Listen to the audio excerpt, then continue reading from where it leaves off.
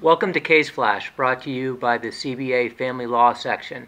I'm Sam Schoonmaker, and joining me today are Judge Elaine Gordon and Alan Palmer.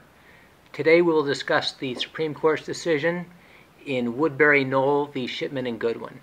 Uh, we'll begin with the majority decision with Alan Palmer. Woodbury Knoll LLC versus Shipman and Goodwin LLP is an important decision for two primary reasons. First, the case further defines the rights of non-parties to a case to file an interlocutory appeal from an adverse discovery ruling. Second, it res- resolves an apparent conflict between the attorney's obligation to maintain the confidentiality of information under Rule 1.6 of the Rules of Professional Conduct, the attorney's obligations to provide discovery pursuant to a court order under Rule 3.4, and the attorney's obligation to not knowingly violate the rules of professional conduct under Rule 8.4. The facts of Woodbury Knoll are fairly straightforward. Woodbury Knoll sued Shipman and Goodwin and others for legal malpractice in connection with a real estate transaction. Finn Dixon and Herling LLP represented Woodbury Knoll in the malpractice case. Part of the plaintiff's claim included a claim for reimbursement of the fees paid to Finn Dixon. Shipman and Goodwin served a subpoena duces tecum upon Finn Dixon to produce, quote, all documents, including without limitation, notes, memoranda, emails, pleadings, document production, billing statements, time records, and every other form of written, typewritten, printed, or computer generated material related to Finn Dixon's representation of Woodbury Knoll. Both Finn Dixon and Woodbury Knoll filed separate motions to quash and objections to the subpoena duces tecum. Both claimed the uh, the motion, the subpoena should be quashed based on the attorney-client privilege and the work product doctrine. Shipman and Goodwin objected to the motions to quash and moved to compel discovery. The trial court overruled Finn Dixon's objections, denied the motions to quash, and granted Shipman and Goodwin's motion to compel. Here is where the conflict in the rules becomes apparent. Under State v. Curcio, a judgment is, is uh, a judgment may be appealed as a final judgment if it terminates a separate or distinct proceeding or so concludes the rights of the parties that further proceedings cannot affect them. Under most circumstances, a discovery order is not a final judgment for purposes of, of appeal because it ordinarily is not a separate or distinct proceeding uh, and does not terminate the rights between the parties. An order adjudging a party in contempt, however, is a final judgment for purposes of appeal. In order to appeal an interlocutory discovery order, a party has to be first found in contempt for violating the discovery order and then appeal the contempt order. Under this protocol, Finn Dixon had two options. They could produce the documents and run afoul of the confidentiality provisions of Rule 1.6, or they could refuse to produce the documents and run the risk of running afoul of their obligations under Rules 3.4 and 8.4 for knowingly violating a discovery order. Finn Dixon, however, chose a third option. They filed a writ of error in the Supreme Court. The writ of error is the traditional common law method of review by the Supreme Court. It provides for review in situations where no right of statutory appeal has been provided. The writ of error is used to review a trial court ruling concerning a non party. The first issue addressed by the Supreme Court is whether the interlocutory rulings by the trial court were final judgments for purposes of appeal. If the rulings were not final judgment, the Supreme Court did not have jurisdiction. The Supreme Court found that this discovery order was a final judgment and re- relied almost exclusively on Abreu versus Leone at 291 Connecticut 332, which is a 2009 case. In Abreu versus Leone, DCF was sued in connection with personal injuries allegedly sustained by a child in, in its custody. The child's foster parent was served with a subpoena to, to uh, appear at a deposition and testify about the child. The foster parent refused to disclose any information about the foster child in the personal injury case, relying on the confidentiality of this information pursuant to statute. The foster parent was ordered to sit for a deposition and produce the information. The foster parent appeal. The appellate court initially dismissed the appeal for lack of a final judgment. On certification, the Supreme Court reversed and found that the interlocutory order terminated a separate and distinct proceeding between the foster parent and the plaintiffs, and that any further proceeding will not preserve a right already granted to the par- foster parent, and that right will be irretrievably lost and irreparably harmed if they are not entitled to appeal.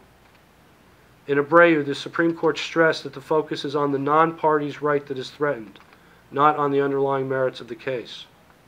Here, both prongs are met for Finn Dixon, a non-party to immediately appeal the discovery order. First, the order denying the motion to quash and the order compelling the production effectively terminated their proceeding with Shipman and Goodwin. Remember, Finn Dixon was not a party to this case. Second, the nature of the claim of right, the confidentiality of the information under Rule 1.6, would be irreparably lost forever if Finn Dixon were to comply. When Justice Zarella makes a direct citation to the reign of Elizabeth I, my experience is that he's trying to make a very important point. I think that is what happens in this case with regard to the law of privilege. Here, there's an overwhelming public policy to protect the attorney client privilege, which uh, Justice Zarella notes is the oldest of the recognized privileges, because the law wants clients to be forthright with their attorneys and their attorneys to give honest advice in return. The court's discussion of the impact of the, on the attorney client privilege is very broad in its scope. In the majority's response to the dissent, he succinctly writes that the policy consideration in this case is whether the attorney's interest in preserving the privilege and the potential for sanctions provides a sufficient justification for the attorney to seek immediate appellate review of a discovery order. An attorney has an affirmative obligation to invoke the attorney client privilege when the substance of the privileged communications is sought, and unlike the client, cannot unilaterally waive such privilege. The short version a claim of privilege under Rule 1.6 takes precedence over the lawyer's obligations under Rules 3.4 and 8.4. The attorney is no longer required to make a choice between disclosure and violating an order of the, order of the court. Non disclosure now appears to be the rule once this appeal was decided. Thank you, Alan. Now we're going to shift to discussion of dissent with Judge Gordon. To say that the um, dissent disagreed with each and every point of the majority opinion, I think, would be an understatement. Um, in writing for the uh, minority, um, Justice Eveleigh disagreed that the Curcio standard had been met in either its first or its second prong, um, and uh, went back to the Abreu case. First of all, read it much more narrowly, as I'll discuss in just a moment, but also said that in some regards, Abreu had conflated the two prongs of um, uh, the Curcio test and was really not a first prong case, but a second prong case. Uh, it is interesting to note that this case was brought um, under uh, the, on the appellate level by the parties below, um, claiming that the second prong of Curcio had been met. Uh, the Supreme Court decided it on the first prong. So Justice Eveleigh basically saying that the Abreu discussion of the first prong was a mistake in his dissent would have rewritten this opinion completely. When I say that the um, dissent read the case more uh, narrowly, uh, Abreu that is, uh, what I mean to say is that they indicated that the idea that there would be a privilege um, that could be uh, read here uh, to include the attorney-client uh, privilege was too broad of a reading. That they basically said that non-parties should not basically have greater rights than the parties themselves, and that the majority's uh, emphasis on the uh, idea of attorney-client privilege was mistaken, that they had overinflated its um, value, um, and to underscore this, basically said that the client themselves doesn't get to invoke the privilege and protect materials in discovery, and therefore that the attorney shouldn't either. Um, they basically said that there was an overemphasis by the majority on the idea that an attorney was faced with either contempt proceedings, which might invoke in, uh, disciplinary proceedings, or the obeying of the court order, and pointed out that Rule 1.6 of the Professional Code allows for an attorney to turn over otherwise privileged documents after a court order. And then, most of all, and I think that the recurring theme of the dissent is that um, the uh, final judgment rule is being um, abridged uh, in a way that will open the floodgates. Uh, and the dissent basically sees this as opening the floodgates not just on discovery issues, um, but on all kinds of third party uh, claims. And basically says that this encourages a piecemeal litigation, that the rights of the parties to a prompt resolution and the needs of the justice system for the same are going to be abrogated by the uh, majority's decision. Thank you, Judge Gordon. I'd now like to open this up to the panel. And the first question I have for both of you is uh, Is every discovery decision that impacts a non party now appealable? I think the majority opinion says no, that these are very fact specific analyses, and really the only issues that are subject to appeal are matters of privilege or matters of fundamental rights, i.e., constitutional rights. But no, I don't think, I don't think this opens the door for appeals where every non-party is ordered to produce documents.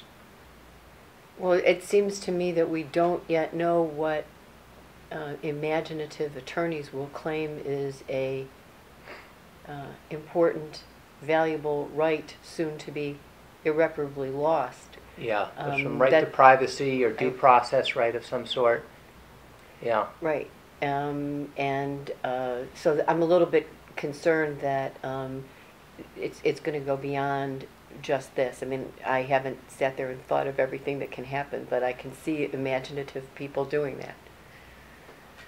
Certainly in family cases, we, we um, involve all kinds of issues that have um, privacy uh, aspects to them, things that affect people's kids, knowledge that you might not want out because somebody may be harmed by it. I'm not sure.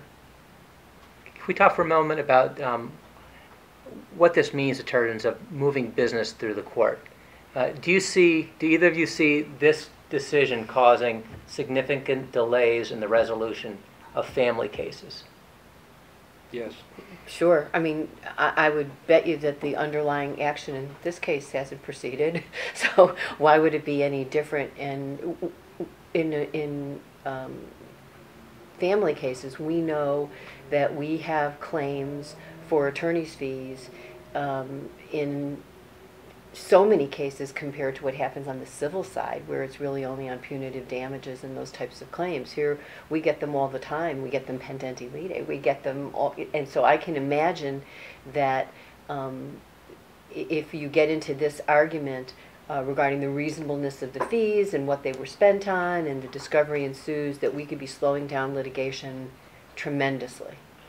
One of the things that the, neither the majority nor the dissent really elaborates upon is that, except for very limited circumstances, there's an automatic stay of execution with regard to orders that are subject to an appeal. Uh, If in a family action this issue came up, it's not clear to me whether a stay would necessarily be in effect or not be in effect, just simply based on this decision. Uh, If, for instance, the information that was requested pertained to a financial, an alimony hearing or a a child support hearing, then the information may be treated differently than if it was for some other purpose, because there's no automatic stay of execution on orders involving alimony or child support. Uh, And I think that neither side really uh, addresses that issue in any manner. Are you saying that you think family attorneys might try to fit a discovery decision involving a non-party into the exceptions to the automatic stay rule for, for, uh, for appeals, fit it into custody, visitation, uh, alimony, child support? Is that what you're saying? I, They're gonna I, try I to- I think there's creativity on all sides, and if, if the lawyer's gonna be creative to take the appeal, I think there's an equal chance that the lawyer opposing the appeal is going to be creative to try to do away with the termination of stay. What do you do if you are the attorney who, um, who wants to move the case forward and uh, the other side has, is now asserting Woodbury Knoll uh, rights? What do you do to move your case forward? I think the first thing you have to do is make an honest assessment about whether the information that you're seeking is really needed for your case. Because if the answer to that question is no, then I think it becomes a lot easier to move on your, on with your case. Assuming the information is necessary, I think bringing a motion to terminate a stay would be the first order to determine whether or not there is a stay in place. um, because nothing's going to happen under, under this fact pattern until the information is gotten. And I think that you're probably going to craft your discovery request a little more narrowly. And perhaps if um, somebody is making that claim of privilege, that you're going to ask for the creation of a privilege log so you can further narrow the issues and try to avoid the problem. Because otherwise you're facing a long delay, and if what you want to do is move it along, you're going to be limiting your requests, I think. And I think outside of the courtroom, my experience has always been that probably ninety-nine percent of these are gonna be resolved with a stipulation once the judge makes his ruling in favor or against any motion to quash, uh, this type of discovery. And most of these are, are done by stipulation. Can we talk for a moment about the privilege log? Uh, who should ask for a privilege log, and under what circumstances do you ask for a privilege log? Well, What- the ca- I'm sorry, the, the, the case, um, basically says that it's not incumbent upon the person claiming the privilege to create the privilege log, which is true.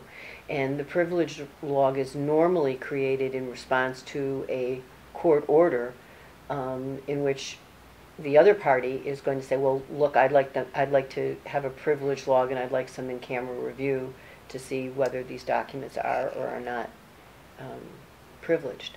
And on the civil side, that happens relatively frequently, um, where privileges are implicated and happens quickly. I think it's incumbent upon the person seeking the discovery to actually make the request. It's, it's definitely not an affirmative obligation. The, uh, in this case, the majority says it's not an affirmative obligation on the person asserting the privilege to create a, a privilege log. That's something that may be ordered by the court, but it's not an affirmative obligation. Uh, is there anything different about uh, discovery in family cases versus civil cases that you see um, that affects you know, the, the, the daily practice under Woodbury Knoll? Let me rephrase that.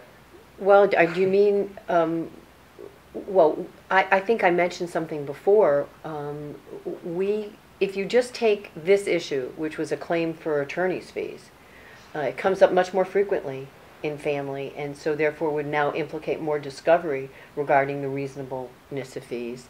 Um, and um, it's going to add to what are already, I believe, some difficult problems on the family side regarding discovery.